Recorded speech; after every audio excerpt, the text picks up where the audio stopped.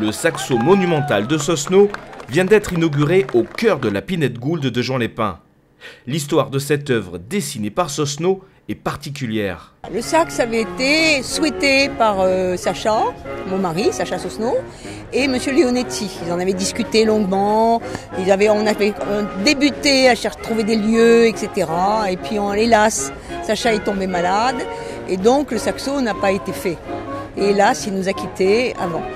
Donc euh, la cérémonie des funérailles, je vous en parlais, de Sacha Sosno, Monsieur Leonetti me dit me voir en disant Macha, on fait le saxo.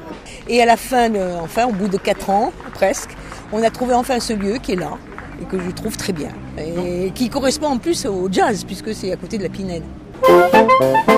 Dans quelques semaines, Jazz à Juin, le plus vieux festival de jazz d'Europe, va se tenir à quelques mètres du saxo jaune de Sosno qui symbolise déjà l'emblème du jazz à Jean Lépin.